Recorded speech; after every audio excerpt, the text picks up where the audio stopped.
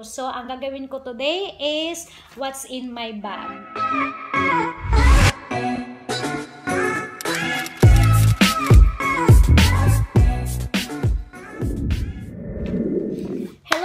Good morning. Welcome back to my channel and Geraldine DG is here again guys. And yeah, if you are new here in my channel, don't forget to subscribe and like. So yan, itong gagawin ko ngayong video guys ay sinaisip ko lang sabi ko saglitin ko tong ah, video na to na gagawin ko ngayon habang inaantay ko si Mr. lalabas kami. Ah, today is a Friday. Ah, si Mr. kasi maaga siya, umalis siya kasi may appointment siya sa kanyang doktor. So maaga ako nakapag-prepare pag alis niya. Then naisip ko, sabi ko, habang inaantay siya, gagawin ko tong video. So ang gagawin ko today is what's in my bag. So yan. Papakita ko sa inyo guys kung ano mga laman ng bag ko. So, saglit lang to guys kasi wala naman masyadong laman to pero maraming abubot. so, it, siya pala guys, itong bag ko ay ah DB Jones. Yan. Usually, ito yung ginagamit ko sa tuwing kaming, ah, saan kami? Basta sa tuwing, ah, sa tuwing aalis kami, may tao sa labas. Sa tuwing aalis kami, saan man kayo humunta, itong berry, ito yung dinadala ko kasi ah, maluwag siya sa loob, marami siyang may ilagay katulad niyan pag umaalis kami si Mr. yung mga wallet niya, yung ah, yung sanis niya, dito niya nilalagay sa bag ko. So, kaya ito dinadala. So, yun. But ito, usually ito talaga yung ginagamit ko. Hindi naman siya kalakihan. Hindi siya kalakihan, guys. Ayan. Pero, marami kang gamit na ilalagay dito. So, start na tayo, guys! Ayan. So, dito muna tayo mag-start sa front. Ayan. Sa front, may ano siya dito, may compartment. Ayan, unahin natin. Buksan natin siya, guys, kung anong laman. Oh my gosh, hindi ko to akalain. Ayan, may, may laman siyang bariya. Um, $2. So, bali $8. Ayan, nakikita nyo ba, guys? Ito yung dollars ng Australia, yung coins. Ayan, $2. Bali, apat siya. Bali, $8. Okay, natin dito. Wala na? Wala na. Then, ito sa likod, may compartment din siya sa likod. So, di ba Kaya gustong gusto ko tadalhin kasi ang daming bulsa. Ang daming mailalagay. Mga abobot-abobot. Oh, yeah. I have this. Palagi ko tong suot. Ito, regalo to. Regalo, oh, hindi. Ah, nabili ko to sa Maynila, guys. Sa Market Market. So, yan. Kaya gustong gusto ko yan. Then, ayun, hindi. Meron siyang alcohol. Ayan. Palagi ako may dalang alcohol. So, next. Next, dito na tayo sa loob, guys. Papakita ko sa inyo kung anong mga laman. Ito, meron din siyang compartment. Ayan, guys, oh. Ayan. Diba, marami siyang bulsa. Ito, yung next na compartment. May bulsa sa dito. Ang laman niya ay, I don't know, tissue. Ayan, tissue. Then, yan, wala na. Then, itong bag guys sa Davy Jones, may pangalan talaga, yan, may print siyang, yan, may print talaga siyang Davy Jones. Lahat yan may print. Davy Jones. Next! Ayan, ito may compartment na namin siya sa gilid. That's why I love this. Ayan guys, oh, may ron siyang Davy Jones. Davy Jones Paris. Nakikita niyo ba? Ayan, Davy Jones Paris. Open natin siya kung anong laman. Oh my goodness. Ito yung laman niya. oh my gosh, ano to? Welcome to John Alexander ENT. Ayan, may tao sa labas, guys. Welcome. Ayan, ano siya? Receipt? Tax in. Oh, receipt siya. Iwan ko kung ano to. Spring, spring wheel. Iwan ko ba? Meron ako nito. Ayan. Ito to, nung galing ko pa nung Pilipinas, nung pagbalik ko dito sa Australia. Ito, kasi kailangan sa plane, may kindi ako. Kasi di ba ano, plane, ano mo, yung flight, 8 hours siya. ah, from Manila Airport to Melbourne Airport. So, yan, kailangan, may ano ako, may candy. Pero hindi ko akala, meron pa palang laman, oh. Meron pa siyang laman. So, next, yan, may tissue na naman ako. And then, wala na. Pati dito sa loob guys, oh, may print na David Jones. Yan, next, next, next. Dito na tayo sa loob. Ayan guys, papakita ko sa inyo. Tiyang! Ay, ito pala, galing to sa Melbourne Zoo. Ayan. Bumili ako ng lima na mga souvenir. So yan, nung pag-uwi ko ng Pilipinas, na, nabigay ko na sa kanila yung mga ibang bag ko kasi niregalo ko, nilagyan ko ng mga ganito. Ayan. Then next ko na ha, ito. Kaya ito gusto ko kasi pag nag, ah, halimbawa pag umaalis ako tapos magbablog ako, may dala akong tripod. Ayan yung tripod ko. So 'di ba, yung tripod ko kumasya sa bag. Oh. So that's why. Kaya ganyan. Tapos next um sunnies.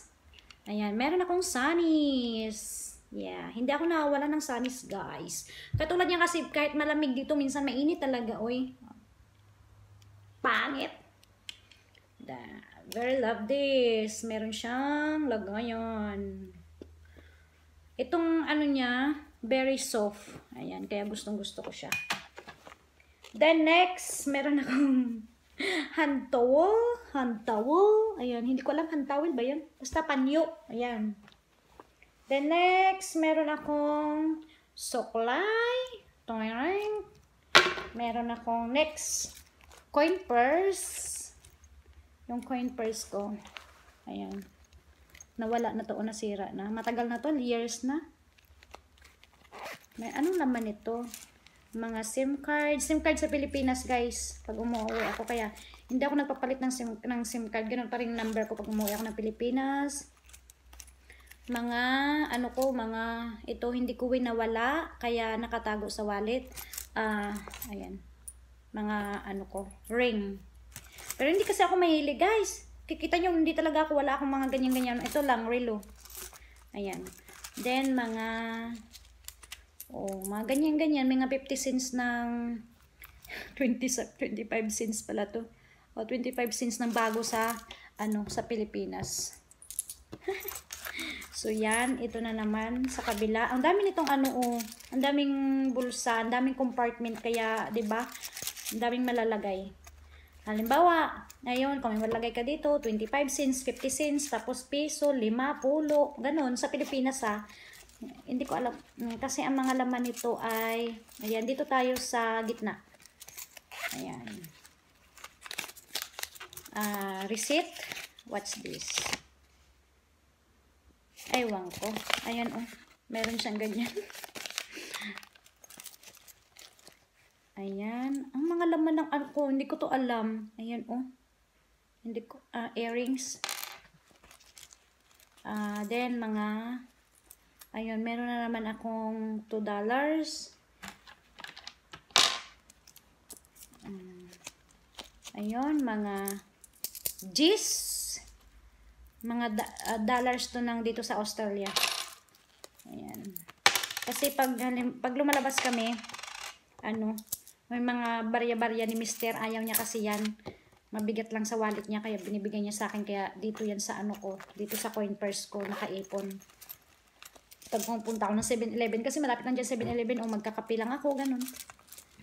Da ang dami kong ano, ang dami kong na, na ang dami ko pa palang barya ng sa Pilipinas yung 10 piso. Ang dami, ang dami, oh. Lima. Ang dami. Oh, bagong lima. Yan. Yung mga ano ko. Yung mga laman ng coin purse ko. So, next tayo, guys. Mabilis lang to. Um, this one. Ayan, 'di ba? 'Di ba nagkasya to sa akin bag? 'Di ba? Kaya 'di ba very ano talaga yung bag ko, ang daming malalagay. So I have, ang laman nito ay I have lipstick. Yan. Um atawag niyan? Basta ano siya, pang lip shiner siya, lip shiner. Ayan, lip shiner. Naku, ito, ala, ano na to, isang taon na to. Oh, isang taon na to, guys. Hindi ko alam kung expired na to eh. Hindi ko alam kung expired na to. Isang taon na to kasi nagtatrabaho pa ako nito sa Makati. Then, ito. Ito isang taon ko na rin tong chopstick kasi palaging dry yung lips ko. Lalo pagdating ko dito guys, sobrang dry talaga yung lips ko. Ayun oh. Binili ko sa Watson. Yun, sa Pilipinas. Next, tali. Ponytail sa buhok. Uh, lipstick. Ito kaninang lipstick ko, ano lang to guys ha? Hmm, hmm, lipstick ko Ebon. Ayan, Ebon lang yan. Ebon. Ebon, Abon. Then, ito matte, Everbelena. Yan lang yung lipstick ko. Pero, so yan, ito, Everbelena. Tapos ito, tapos, yan lang. I'm very simple lang pagdating ko sa mukha, guys. Sa lipstick, eye, eyeshadow, eyeshadow, brow, eyebrows, ay, ano lang yan. Ganun yan lang ako, guys. Huli, katulad yan, aalis ako ng ganito lang. Um, cream lang nilagay ko sa mukha. So, then, yun lang. Nothing else. No more. So, yan lang talaga yung ano ko, guys. Yung pampaganda. Wala na. Then, wallet. Wala na. Ayan. Ito, ano ba to? Ah, ano to dito sa bag. Ayan guys, oh. Yan. Wala na. Ito last ang wallet ko, ba? Pati wallet kong mahaba nagkasya dito. Oh, 'di ba? So, kaya kailangan talaga. Wala kasi akong wallet na ma, ma ano, ma, maliit. Ang isa, nag-iisa lang yung wallet ko. Ito lang yung wallet ko. It years na talaga tong bag ko. Ay yung wallet ko. Kasi leader siya. So, tsaka maingat din ako. So, ayan, wala pa rin mga gas-gas. Ayan. As in, wala. Wala. Ayan. Ayan. So, yan. Ang laman ng wallet ko ay, ayan, uh, dollar na pera. $20 at, at $5. Ayan. Then, next, uh, dito sa gitna ay ano ba to? Mga to. Papel. Uh, number. um, ano ba to? Yung bangko ko, yung Metro Bank sa Pilipinas. ID ko, barangay ID. 10 ID. Ay, kita na lahat. PhilHealth. Voters. Picture ng anak ko. Next. Yung dito siya sa kabila ay yung pera ng yung pera. Natira kong yung natira kong pera nung pagpunta ko dito sa Australia. So yan. Then next ito, yung ito guys, yung mga card card, mga card card card card. Meron akong uh, MIDI, MIDI card. Ah uh, Ah, ano ko to sa ano sa sa sa, sa probinsya namin yung record ba? Ano ba tawag yun? Basta, Buruanga Bunisel. Record sa hospital ba? Pag nagpa-check up ka, di ba may mga libre kasi kailangan lang magpaano ka, magpaganito. Gusto na rin ako. Then, ang next ko ay BIP. BIP card doon sa Pilipinas, guys.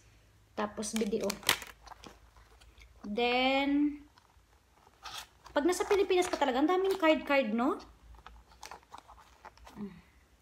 Next, visa.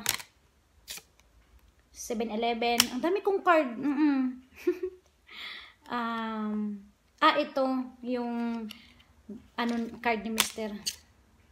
Meron din akong time zone. Oo, kasi nung nasa ano ako, nasa, wala pa si Mister, yung nasa Pilipin, nasa Tagig ako, uh, kasama ko pinsan ko, pag ano kami, pag lumalabas kami, pag day off ba, pag lumalabas kami, andun kami palagi sa time zone sa market market. So yan, kaya bumili kami na ng time zone card kasi addict kami sa mga uh, ano sa ano, yung mga basketball. Basta sa game sa time zone, addict ako kaya yan, ang may time zone card ako. Tapos pinapaludan na lang namin siya ng 250 kasi ang bilis maubos, oy. O kaya yan, may time zone na card ako. Next is yung SM Advantage. Yan. 'Di ba pag nasa Pilipinas ka talaga ang daming card. Oh, ang daming card. 'Di ba? Card pa lang ha, pero walang pera. My gosh. So yan, yan na yung laman ng bag ko, wala na guys. Ayan. Wala na. Wala na. Ayan, ito lang yung pera. Wala na akong wala nang laman. So that's it lang yung ano ko, yung what's in my bag. So wala na to lahat. So yun, ito yung laman ng lahat ng bag ko. So um that's it guys. Thank you very much. For, and that's it. Maraming maraming salamat. Have a good day and God bless. I love you.